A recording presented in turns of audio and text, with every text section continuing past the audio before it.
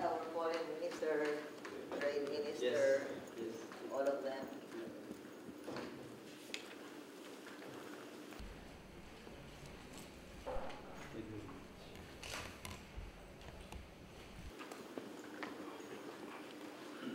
And thank you for your, your very big investment in the Philippines, governments, so that the relief and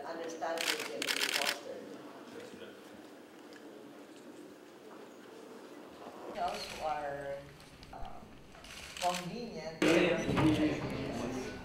Yes, we already, ano, we already uh, greeted uh, Chairman.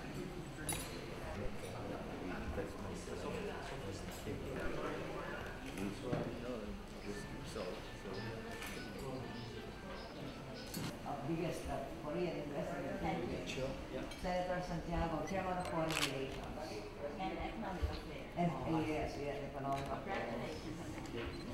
And Angara, who was former Senate President.